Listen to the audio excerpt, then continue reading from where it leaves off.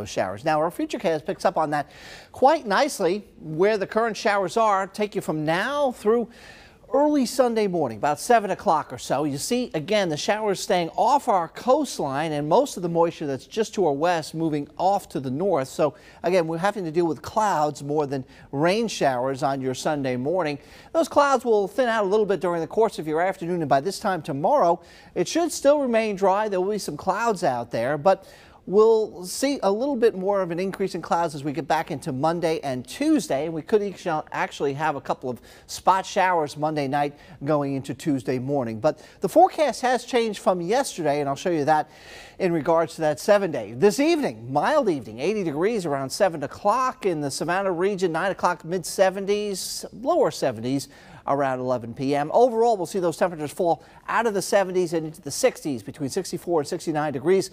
Under mostly cloudy skies, we'll have some patchy fog building in just like we've had over the last couple of uh, uh, evenings. And as you note there, the overnight lows normally would be into the 50s. Now, forecast highs for tomorrow are going to be in the 80s. 80s, 8 at Hinesville, 86 at Darien, 87 at Sylvania.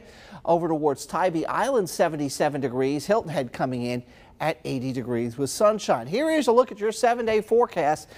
And you can see the numbers here. Not as much precipitation in the forecast. I've uh, uh, future models and latest models have shown that uh, moisture is really going to stay at bay. And the real only, really the only time that we'll see some of that will be Monday night going into Tuesday morning. Even that's fairly low. And then, boy, we really warm up next weekend. I'm going for 90 degrees. Wow. Wow. Mm -hmm. We'll take it. And it